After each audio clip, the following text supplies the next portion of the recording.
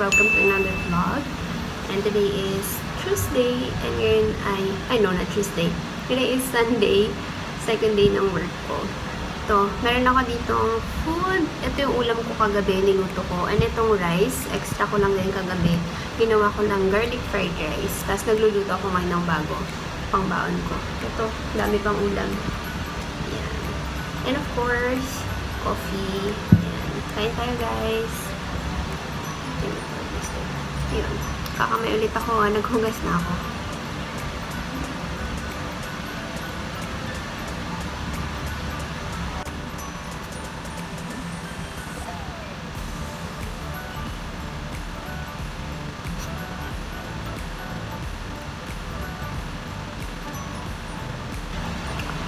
Ano, hindi pala ako nakapag-vlog kagabi. Kasi, hindi maganda yung araw ko sa work kahapon. First day ko and was not that good. So, parang medyo down ako kagabi. Kaya, kaya ano, kumain lang ako, nagluto, tas yun, tulog na rin. Kasi wala talaga akong gana as in. And, oops, yung rice natin.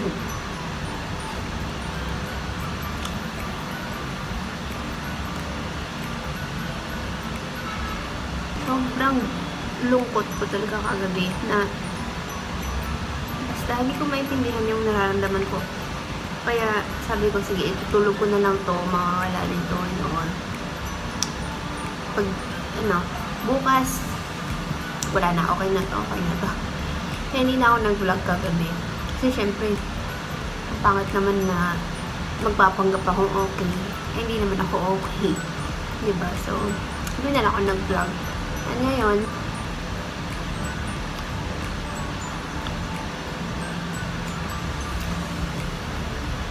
gusto kong libangin yung sarili ko. Kaya, wait lang. Yan. Gusto kong libangin yung sarili ko. Kaya, nag-vlog ako.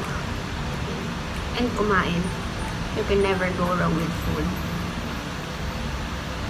sumasagi-sagi pa rin sa isip ko. Kaya, ang ano ko kasi, ang overthinker, tas, basta ang layo ng nararating ng, ng isip ko, sobrang nagiging negative din ako, minsan.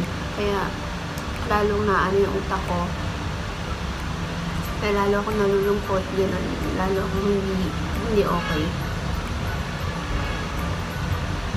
Pero hindi ko naman siya, hindi ko naman siya maiwasan, hindi ko naman mapigilan kahit sabihin ko, huwag mong isipin na okay lang yan, okay lang yan. There's a certain um, part ng utak mo na nagsasabing, hindi, hindi okay yon Dapat kasi ganito, dapat ganyan, bakit mo kasi, ang dami, ang dami talaga. Kaya, kaya pag may time na ganun ako, I just want to be alone. Well, lagi naman ako alone. Pero ano yun, pag dumating yung point na yun, gusto ko ako lang. Kasi iyak lang ako. Yun yung nagiging outlet ko pag iyak. Kaya kagabi, umiyak din ako. At least, na ilalabas ko siya kahit papano. Hindi to yung first time ah dahil sa trabaho ko umiyak. Na-experience ko na rin to sa previous job ko. Wow. Well, I think I'll do a separate video on that. Sige. Separate video na lang about doon kung bakit. bakit ako umiiyak sa mga trabaho ko. Anyway, ayoko nang, ayoko nang isipin muna umaga-umaga. Okay, we're back. Nag-alala ako. Naglagay lang ako ng rice sa aking baunan para sakto lumambig na siya. Um, anyways, ano nga ba yung gusto kong pag-usapan natin? Um, ah, okay. Yung ano,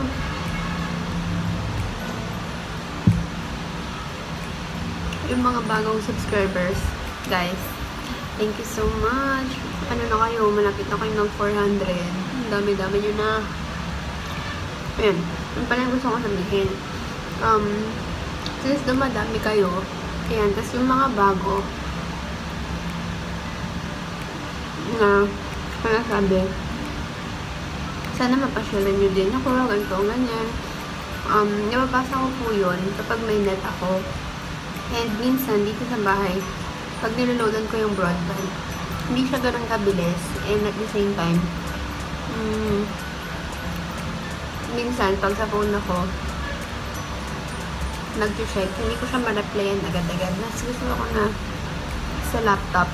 Kasi at least doon, um, mas mabilisan ko kayong mare-replyan. Kasi multiple tabs, pwede kong gawin yon And, yun. At the same time, guys, may trabaho po ako. So, hindi ko nare-replyan ng agad-agad.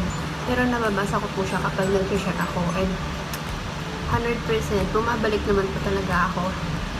Yun lang, yun lang. Sana, sana wag kayong, wag kayong uh, mainip. O sabihin nyo, ah, hindi naman yung bumabalik eh. Ganyan, ganyan. Kaya nag-unsubscribe. So, sana wag naman po. Yun lang. Salamat. Tapos na ako magbihis and eto, papapaksan nyo yung aking suot. Ito pala. Ito, okay-okay lang din to. Tagal na nito. Ngayon, ngayon ko lang nasuot din. Yan, ganyan siya. May pa... Ano kung tawag dito? Parang... Parang... Ah, hindi ko alam explain. Pero ganyan siya. Tapos, yan, blue pants. And then, ito, naka-ano ako. Um, Skechers na rubber shoes. And then, pinalitan ko pala yung aking bag. Ayan. Ito, backpack lang dito galing um, Lazada. Um, okay. Meron akong Okay, yung aking makeup for today, pinalitan ko pala yung gamit ko. Hindi ako gumamit ng Vice today. Oh my gosh, namumula na naman sila. Pero yeah, ang ginamit ko is yung, trinay ko yung Perfect Cover BB Cream ng Face Republic. Yan, ang tagal na ito sa akin, siguro mga um, magdadalawang buwan na. Tapos ngayon ko lang itatry. Kasi nakita ko siya kanina nung naghahanap ako ng um, tawag dito, ng may hinahanap ko kanina. Basta may hinahanap ako. Sabi ko, sige nga, try ko nga ito ngayon. Just in case na hindi siya mag-work sa akin, uh, meron akong ilang days para i-recover yung aking mukha. Just in case, sana wag naman. Kasi this coming um, 5, 6, um, pupunta kami Tagaytay. Yes, mag-staycation kami. Um, kasama ko yung boyfriend ko and yung, yung kapatid niyang babae kasi hindi pwedeng kami dalawa na. It's our anniversary. Sa 7 yung anniversary namin pero yeah. Celebrate namin siya ng, ay, I mean, yung staycation namin is 5-6 kasi yun lang yung available. Um, just in case kung dito mag-work sa akin, meron akong ilang araw para i-cover, i-recover yung mukha ko para sa araw na aming anniversary dahil ayoko namang mukhang sobrang tsaka na mukha natin dahil tsaka na talaga siya. So, I'll let you know, guys, kung kamusta siya. um, sa aking next vlog. I don't know if kaya kong mag-vlog mamayang gabi kasi mayroon akong gagawin. So, um, update ko na kayo next time guys. Yan. Pero so far, so good. Yan. Okay naman siya sa skin tone ko. Ayan. Nung una kong pagka-apply kanina, parang medyo maputi siya. Pag nag-set na talaga siya sa mukha mo.